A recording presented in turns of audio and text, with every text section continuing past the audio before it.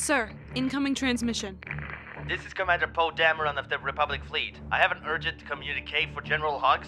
This is General Hux of the First Order. The Republic is no more.